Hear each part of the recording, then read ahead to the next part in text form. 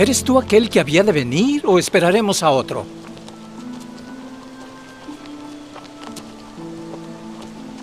Y de haced saber a Juan las cosas que oís y veis. Los ciegos ven, los cojos andan, los leprosos son limpiados y los sordos oyen, los muertos son resucitados y a los pobres es anunciado el Evangelio. Y bienaventurado es el que no halle tropiezo en mí.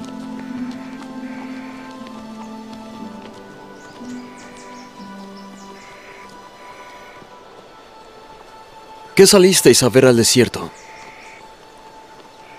¿Una caña sacudida por el viento?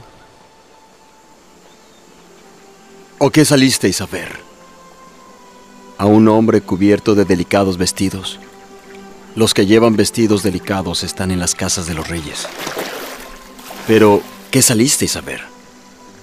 ¿A un profeta? También os digo, y más que profeta. Porque Juan es de quien está escrito, He aquí yo envío mi mensajero delante de tu faz, quien preparará tu camino delante de ti. De cierto os digo, que entre los que nacen de mujer no se ha levantado otro mayor que Juan el Bautista. Pero el más pequeño en el reino de los cielos, mayor es que él. Desde los días de Juan el Bautista, el reino de los cielos sufre violencia y los violentos lo arrebatan, porque todos los profetas y la ley profetizaron de Juan. Y si queréis recibirlo, él es aquel Elías que había de venir. El que tiene oídos para oír, oiga. Pero ¿a qué compararé esta generación? Es semejante a los muchachos que se sientan en la plaza y dan voces a sus amigos y dicen, tocamos la flauta y no bailasteis. Entonamos canciones de duelo y no lamentasteis. Porque vino Juan, que no comía ni bebía, y dicen, demonio tiene.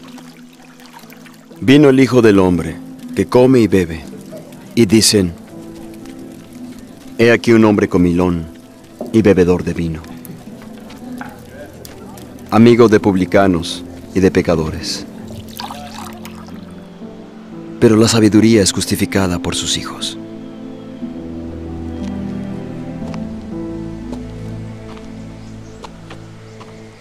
Ay de ti, Corazín. Ay de ti, Betsaida.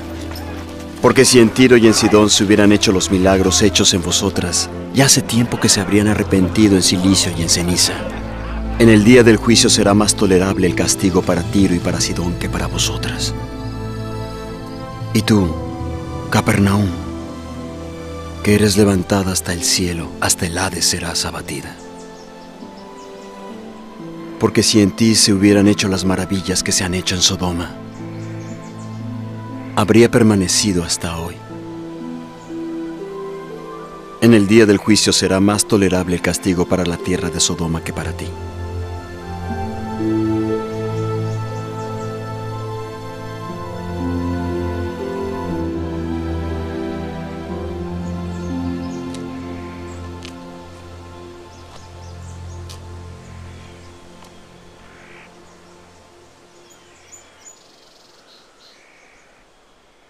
Te alabo, Padre.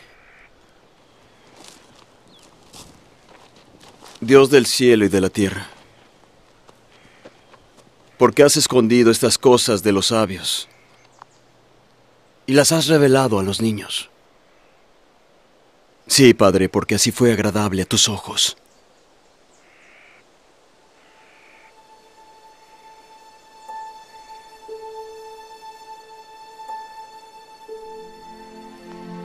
Todas las cosas me son entregadas por mi Padre. Y nadie conoce al Hijo sino el Padre. Ni nadie conoce al Padre sino el Hijo.